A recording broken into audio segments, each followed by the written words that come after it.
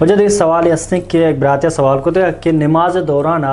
ما اگر ماں بابا یا کیا نماز دورانہ مردم میں تو کا مختلف خیالات کہتے ہیں۔ یعنی اما چیز کو لے کے بلوچ نے گار بوتا تھا رسگانا نماز اوشتے تھی کیال کے کجا ایر کتا یعنی نماز کا مختلف خیالات کے وجہ چیئیں اور یہ حل چیئیں۔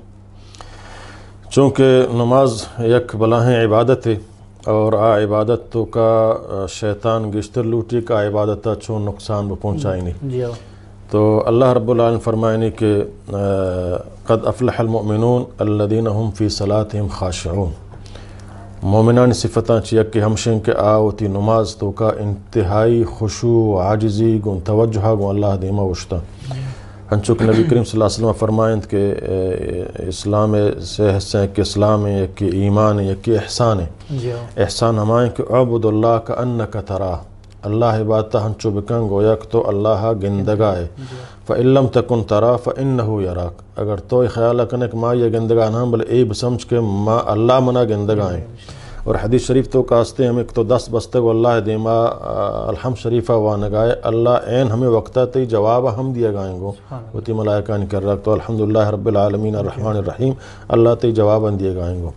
تو انسان کوشش بکن کہ آ وہ تی خیالات آں وہ تی توجہ ہمیں وہ تی نماز تو کا بیاری کہ مہنو اللہ دیما اشتاتگا اور اللہ منا گندگائیں ماہو اللہ گندگائیں انچو کما یک جج و افسر دیماغ فیش بانک تما آئی ترسا و آئی چیا پورے خیالات گمائی بھی۔ اور ماں اوتی آدھگے درستے وہ ہم گما منا نیا آیا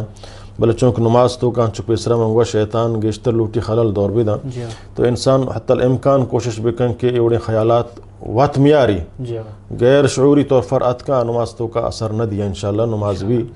بلے وقت ہوتی خیالہ یک طرف یا مبارت پدا آئی تو کا ہوتی سمجھنا پورے خیالہ مرکوز کا تا نماز حلاز بھی ای وڑ مکان کوشش بکن کہ ہوتی توجہ ہمیں بکن کہ مانو اللہ ہے تعریفہ کنگایا نو اللہ دے ما اشتاتگا نو اللہ بندگی بات تا کنگایا اگر اللہ تی ہنچیں وسواس خرابیں کہتے ہیں شیطان اندرو تو حدیث شریف تو کاسنے کہ مردم اعوذ باللہ من الشیطان رجیم بوشی اور ہوتی چپیں کشا چو سے برا ہمیں اڑا توک بجا تاکہ ہما شیطان وسواس ختم بھی بن